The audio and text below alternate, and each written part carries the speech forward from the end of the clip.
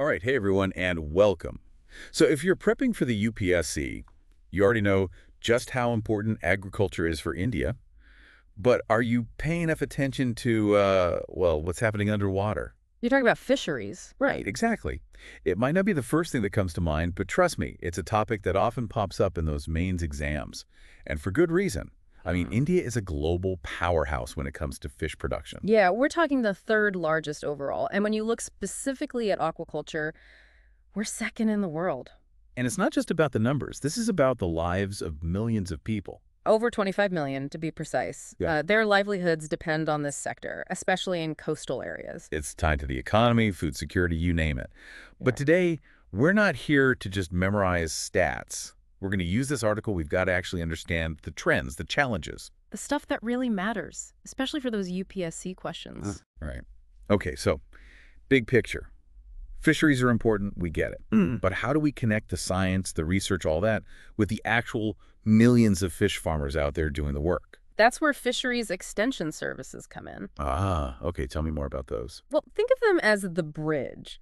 They connect that cutting edge research with what's actually happening on the ground.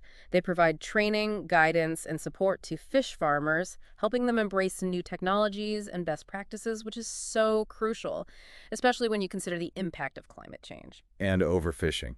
We can't forget that one. Right. Overfishing, it all comes back to sustainability, really. And that's something we see pop up again and again in the UPSC exams. It's all about finding that balance, right? Making sure we're using resources responsibly so they're there for future generations. Absolutely. Now, speaking of taking action, this article highlights some pretty cool government initiatives aimed at tackling these challenges.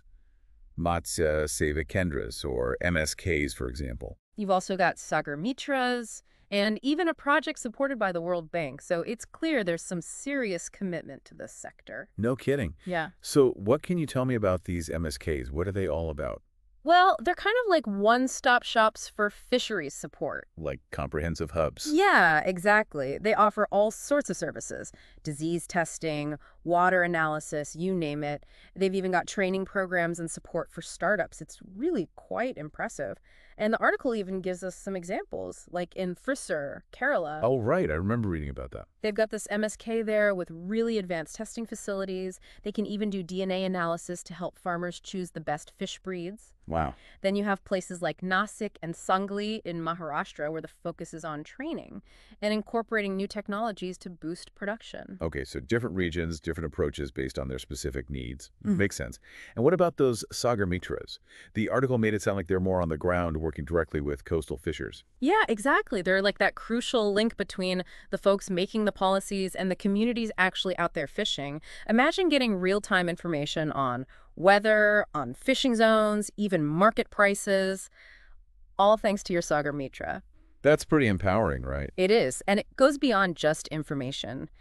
They educate fishers on things like safety regulations, proper handling techniques, even things like disaster preparedness. So they're not just providing information, they're actually equipping these fishers with the knowledge and tools they need to thrive, even in a really challenging environment. And one that's constantly changing, right? With all these new challenges emerging. Right. So we've got these great initiatives, these programs, all aimed at supporting fish farmers.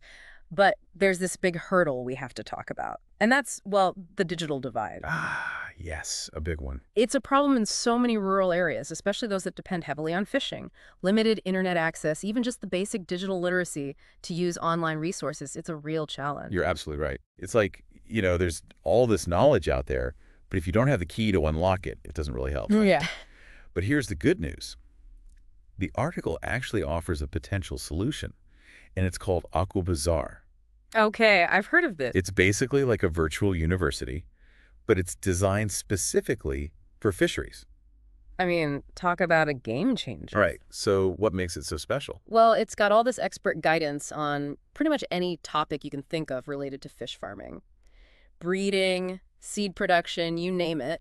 And it goes beyond just text and articles, right? Yeah, they've got practical demonstrations you can actually watch and learn, like having a personal tutor right there on your phone or a computer. I was just thinking that. Imagine like a- a fisher in a remote village. Yeah. Suddenly they have access to the same level of expertise as someone, you know, in a big city. Exactly. It's about leveling the playing field. And for our listeners out there who are on the UPSC journey, this is a perfect example of how technology can be used to empower communities, to bridge those knowledge gaps. It's powerful stuff. But of course, we can't ignore the challenges that remain. The article brings up some important ones, like fragmentation, for example. Fragmentation. Yeah, the fact that all these initiatives, these programs, they're not always working together as well as they could be. Uh, it's like you've got all these great ideas, but if they're operating in silos, it's not going to be as effective. Right. That's a good point. It's like, imagine an orchestra, right? If all the instruments are playing different tunes, it's not going to sound very good. Exactly. Yeah. And then, of course, there's climate change. Always looming. It's impacting everything. Unpredictable weather, rising sea levels, changes in water temperature.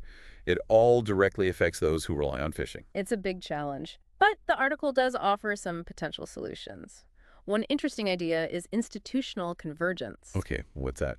Well, it's basically about bringing fisheries services under those existing agricultural networks. Like imagine tapping into the network of Krishi Vigyan Kendras or KVKs. Oh, yeah. They're doing great work in the agriculture sector. Exactly. They've got the infrastructure, the expertise. If we could leverage that for fisheries as well, it could have a huge impact. So instead of starting from scratch, we're building on something that's already there. Mm. I like that. And of course, technology. We got to keep talking about that. Right. Platforms like Aqua Bazaar. Yeah, making sure they're accessible even in the most remote areas, that's crucial. Bridging that digital divide, it's absolutely essential if we want these initiatives to be truly effective. And here's another key point. The role of the private sector. The article talks about public-private partnerships. Yeah, that's important. Bringing in more expertise, resources, it could really make a difference. Okay, so we've covered a lot here. Trends, challenges, all sorts of exciting stuff. A lot to think about. Right. But for those of you listening who are on that UPSC path, what does this all mean? What are the big takeaways? Well, for one, it highlights the importance of sustainable development and economic growth.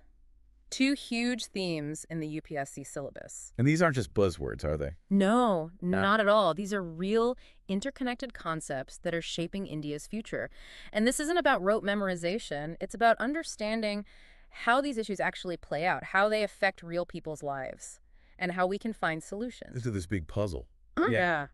We got to look at the whole picture. And that's what the UPSC is all about, isn't it? Thinking critically, analyzing complex challenges. Absolutely. So the article ends with this really thought-provoking question, and it's asking, how can India ensure its fisheries sector not only thrives, but actually becomes like a like a global model for sustainable practices, I mean? It's a big question. It is. And it really challenges us to think beyond, you know, just increasing production. It's about finding a way to do it right, you know? Hmm. protecting the environment, thinking about the future, the well-being of the people who depend on this industry. It's about long-term vision. Yeah, it's like understanding that the choices we make now, they have an impact down the line. And that brings me to you, our listeners, because especially for those of you prepping for the UPSC, you're the ones who are going to be grappling with these questions. You're the future policymakers, the leaders.